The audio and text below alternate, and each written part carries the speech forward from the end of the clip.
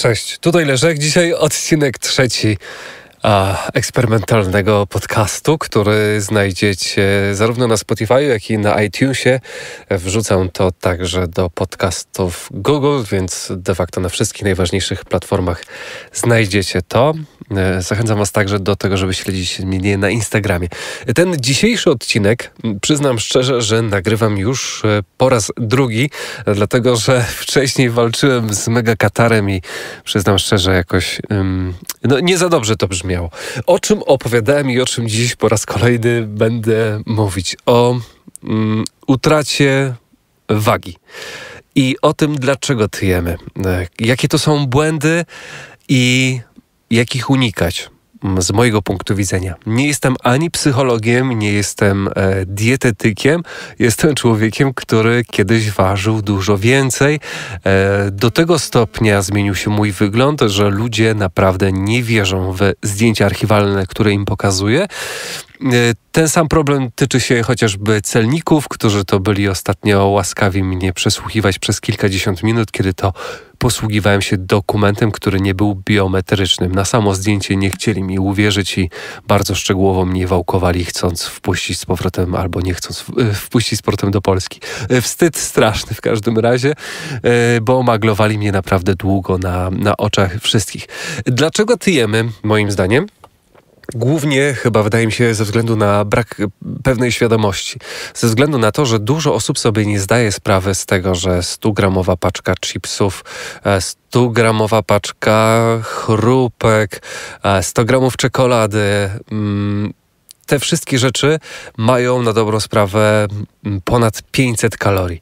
500 kalorii u mnie to jest 7 km biegania, więc to jest naprawdę sporo, przy czym 7000 kalorii na dodatku to jest 1 kg dodatkowej masy. To mówię w tak bardzo dużym y, uproszczeniu. W sytuacji, kiedy w sklepie nie toczymy tej matematyki, a dowolnie konsumujemy, to odkładamy sobie przez cały czas te kolejne, kolejne kilogramy. Y, więc kwestia właśnie świadomości to jest jedno. E, czytanie składów, jak i również wartości energetycznej produktów to jest kwestia numer jeden. E, dwa to jest motywacja, która e, nam przyświeca podczas robienia dosyć złych, podczas poczynania złych decyzji konsumenckich w sklepie, tak to nazwijmy górnolotnie. Wynika to z tego, że mm, bardzo często zajadamy stres, bardzo często zajadamy smutek, a mamy różne dziwne rytuały, które także wynikają po prostu ze znudzenia. E, to czasami też się tak zdarza, że e, Kowalski po ciężkim dniu w pracy przychodzi do domu, odpala e, coś słodkiego albo słonego, do tego piwo i kanapa. I to jest jest codzienność i załóżmy każdy taki wieczór to jest dodatkowy, e, dodatkowe powiedzmy 700 kalorii i po 10 dniach, co 10 dni zarabiamy 1 kg. Też mówię to w bardzo dużym uproszczeniu i tym sposobem mm, powstają yy, takie liczby jak 120 kg, które ja widywałem kilka lat temu na swojej wadze. E, dziś ważę troszeczkę mniej, bo 50 kg mniej ponad i bardzo dużo mnie to kosztowało wysiłku, odbijanie się z powrotem od tej dramatycznej niestety wagi, która rzucała się nie tylko na mój wygląd, nie tylko na moje samopoczucie, ale także skutecznie utrudniała mi uprawianie sportu w sytuacji, kiedy byłem zmuszony do tego, żeby e, chodzić na siłownię, biegać, pływać, czy też jeździć na rowerze, ponieważ tak jak wam miałem okazję już wspominać o tym poprzednio, moją motywacją do uprawiania sportu nie było wcale odchudzanie, tylko lepsze samopoczucie, to e, psychiczne. E, ja miałem do czynienia z derwicą, z atakami paniki. Dowiedziałem się w międzyczasie, że skutecznym lekiem, oprócz oczywiście psychoterapii czy farmakoterapii, jest sport. Regularnie uprawiany sport, dyscypliny aerobowe, aerobowe które e, wyciskają z nas siódme poty, bo tylko wtedy to ma sens, kiedy naprawdę dosyć mocno się staramy. I im mocniej sobie y, spuścimy w piernisz na treningu, tym nasza głowa będzie y, spokojniejsza na drugi i trzeci dzień. Pod warunkiem, że będziemy oczywiście robić to y, regularnie. Więc kwestią zasadniczą u mnie było to, że tak naprawdę przez długi czas nie zdawałem sobie sprawy z tego, co się ze mną dzieje, mając taki, a nie inny tryb odżywiania, zajadając smutki i stres. E, jedynie czasami słyszałem tylko jakieś takie delikatne bardzo sugestie swoich znajomych. Żartobliwie niby przezywali mnie kluskiem, mówię serio, e, ponieważ oni tak naprawdę widzieli dużo więcej ode mnie. Ja widząc siebie na co dzień e, w lustrze nie zauważałem żadnej różnicy, a każdy taki dzień, kiedy, który to spędzałem na kanapie e, z paczką czegoś w cudzysłów dobrego, odkładał mi kolejne kalorie, które kiedyś będę musiał odpracować. To jest jedzenie na kredyt. I uważam, że każdy prędzej czy później będzie musiał brać się za odchudzanie, a im później to nastąpi, tym będzie to niestety cięższe. Stąd też wydaje mi się tak dużo, tak strasznie dużo pytań do mnie trafia od Was w kontekście tego, mm, jak wyglądało moje odchudzanie.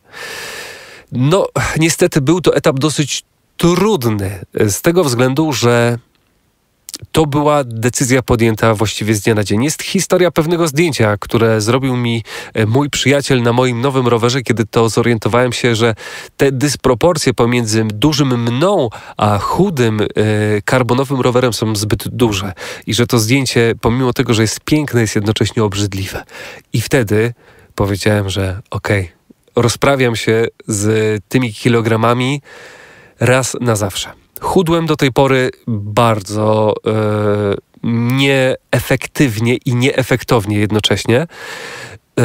A w sytuacji, kiedy utraciłem w krótkim czasie dość sporą ilość kilogramów, to jednocześnie podjąłem decyzję o tym, że przechodzę na wegetarianizm, że, zły akcent, wegetarianizm, e, że będę odżywiać się właściwie e, samymi warzywami, owocami oraz kaszami i że przy tej okazji wykluczę wszystkie niezdrowe węglowodany, a także nadmiarowe, nadmiarowy tłuszcz. Więc przez ponad pół roku nie miałem w ustach nic słodkiego, przez pół roku nie miałem grama alkoholu poza e, jednym e, wyjątkiem, który miał miejsce podczas jakiegoś wyjazdu służbowego do Włoch. I to właściwie jest tyle. Pierwsze trzy tygodnie były masakryczne e, dla mnie pod względem fizycznym i psychicznym, ponieważ mój organizm musiał się przestawić na nowe tory, a to wcale nie jest takie proste, kiedy mamy swoje wieczorne rytuały i kiedy codziennie jesteśmy przyzwyczajeni do nagradzania siebie wieczorem przed snem kiedy to właśnie w łóżku e, pojawia się to piwo. Ja byłem i jestem do dziś dnia miłośnikiem piw kraftowych i miałem tak, że chodziłem do sklepu specjalistycznego, kupowałem 6-7 butelek e, nowości, które sobie konsumowałem potem e, w, w, w weekend albo przez niektóre dni ciepłego letniego tygodnia. To oczywiście musiało być czymś okraszone. Ja mam swoje e, różnego rodzaju fetysze. E, ja bardzo uwielbiam słodycze, lubię tak samo słone przekąski i nagle tego wszystkiego z dnia na dzień nie ma. Ja bym to porównał do yy, nie wiem, rzucania palenia albo do, nie wiem, ciężkiego, ciężkiego rozstania. Człowiekowi naprawdę, uwierzcie mi, yy, nie jest łatwo, ale to, co jest najważniejsze w tym wszystkim, to, że jest to okres przejściowy. I o ile pierwszy tydzień był dramatyczny, drugi był troszeczkę mniej dramatyczny, trzeci był ciężki, ale już do wytrzymania.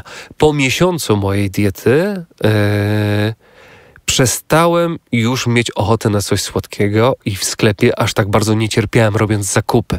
Bo to, co yy, wydaje mi się przede wszystkim jest bardzo istotne, to dyscyplina na zakupach nie kupowanie zbyt wielu produktów na zapas, nie kupowanie przede wszystkim złych produktów, bo jeżeli nie macie w domu niczego słodkiego, niczego zachomikowanego, a w zamian za to macie e, przekąski w postaci, nie wiem, pestek dyni, suszonych owoców albo yy, pomarańczy, bananów czy też grejpfrutów, to siłą rzeczy no nie macie wyboru.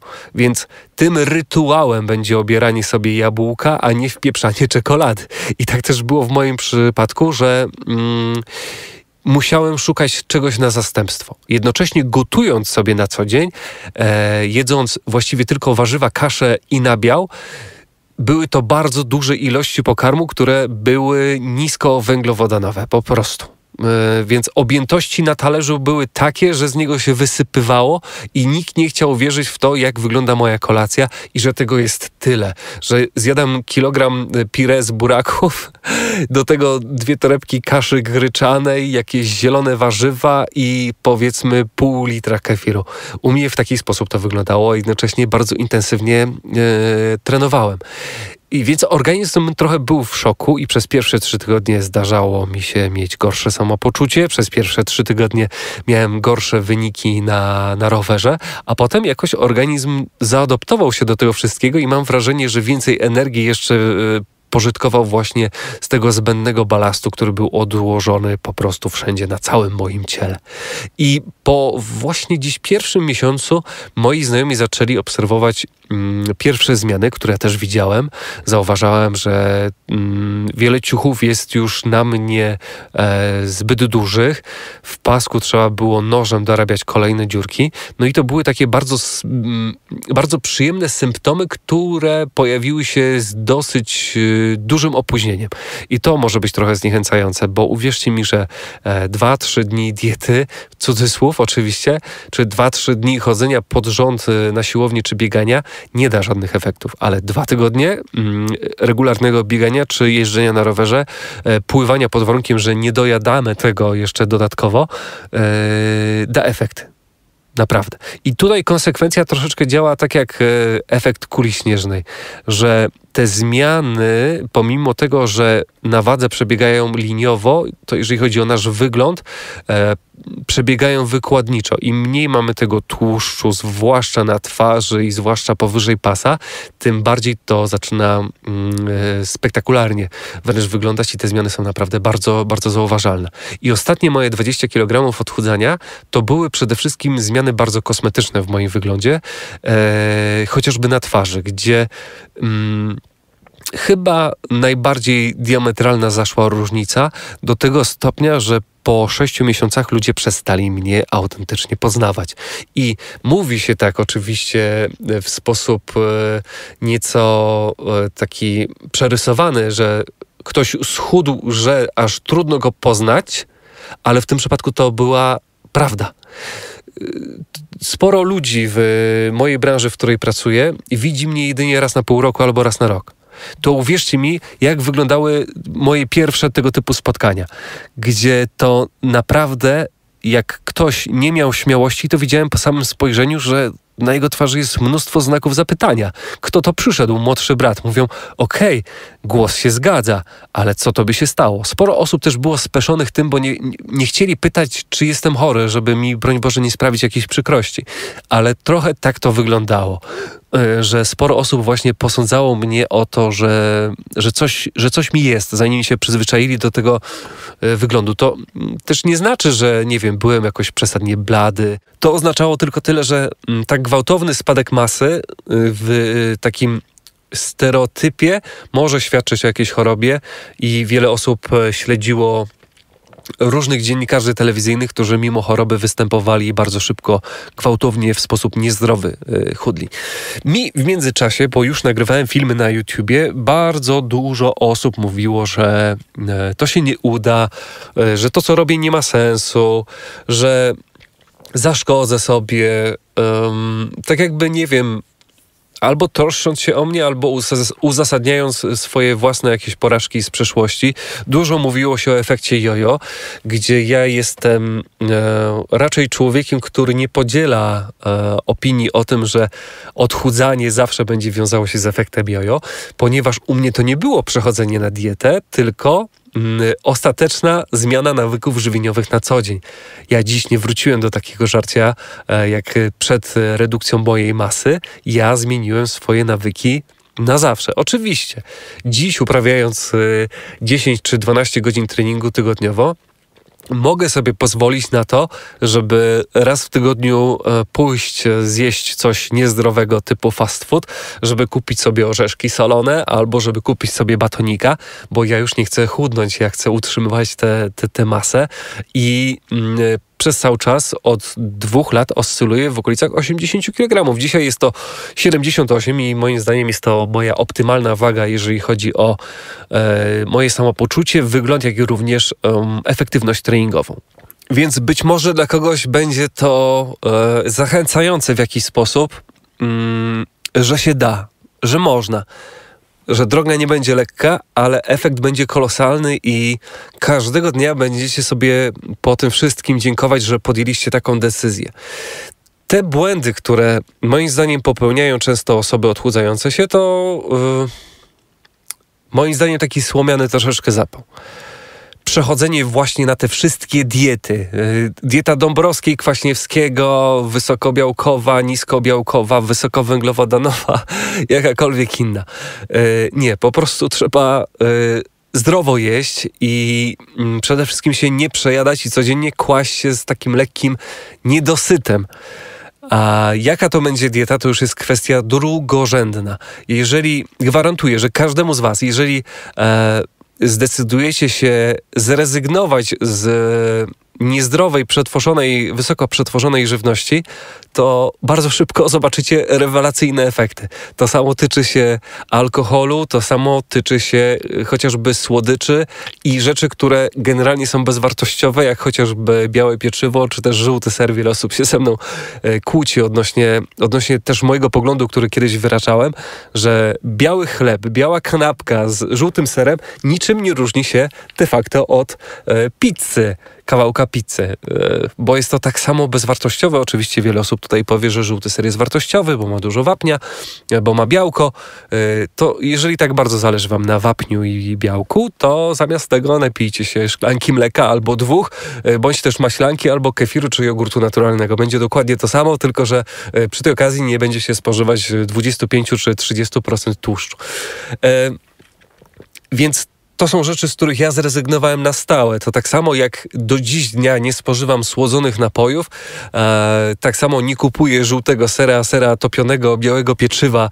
E, to zdarza mi się naprawdę niezwykle, niezwykle rzadko i u mnie codziennym rytuałem nie są słodycze, tylko słodycze pojawiają się wtedy, kiedy jest naprawdę specjalna okazja i kiedy faktycznie mogę siebie nagrodzić za coś, kiedy sobie zasłużę na to po jakimś bardzo ciężkim treningu albo w, przeddzień jakichś zawodów. To są momenty, kiedy faktycznie jem słodycze. Poza tym one pojawiają się u mnie raczej bardzo sporadycznie. Nawet w sytuacji e, takiego codziennego mojego rytmu treningowego, e, kiedy nie spożywałbym także węglowodanów prostych, to przez cały czas byłbym na deficycie, czyli cały czas bym chudł, a tego chciałbym unikać. I właśnie mam ten komfort, że jeżeli ch chciałbym jeść słodycze, to mogę jeść te słodycze, ponieważ i tak na co dzień trenuję E, i przykładowo robiąc e, w okolicach 40 czy 50 kilometrów na rowerze dziennie, e, mogę zjeść batonika i ten batonik absolutnie mi nie zaszkodzi. Tak samo jak i piwo, od którego troszeczkę się też odzwyczaiłem, wam przyznam szczerze. I teraz piję je niezwykle sporadycznie. Powiedziałbym, że to jest jedna, dwie butelki raz na dwa, trzy tygodnie, albo witając na jakiejś, na jakiejś imprezie ale też chodzi o to, że to nie jest norma. I patologiczną sytuacją jest przyjęcie normy, że codziennie pijemy piwo. Niestety, Yy, chyba, że jesteśmy kiperem, albo chyba, że jesteśmy osobą, która yy, ćwiczy 20-25 godzin w tygodniu. Wtedy, wtedy wydaje mi się, że tak, ale mimo wszystko codzienne spożywanie piwa e, no raczej nie jest sytuacją, która będzie sprzyjać zachowaniu e, zdrowej i szczupłej sylwetki. Tak mi się wydaje.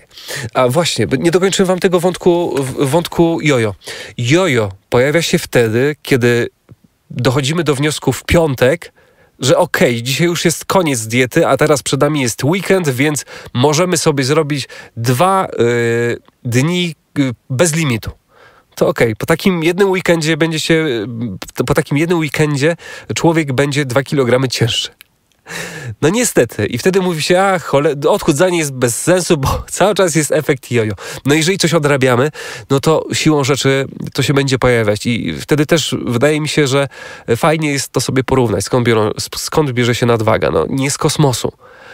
Eee, te dodatkowe kilogramy to albo będzie woda, jeżeli to jest woda, to nie stanowi to większego problemu, albo będzie to właśnie tłuszcz, który nabiliśmy z powrotem przez y, dwa dni. I spokojnie przez y, dwa dni weekendu jesteśmy w stanie zniweczyć e, całotygodniowe męczenie się z dietą. Więc dlatego, jeżeli zmieniamy te nawyki żywieniowe, to zmieniamy na stałe.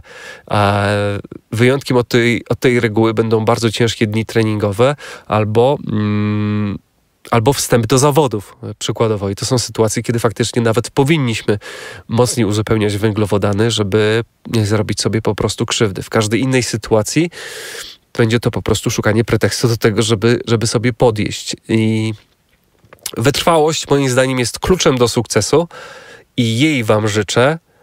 Eee, doskonale wiem, jak ciężki jest to wysiłek, dlatego bardzo mocno trzymam kciuki za tych wszystkich, którzy E, chcą walczyć z nadmiarowymi kilogramami.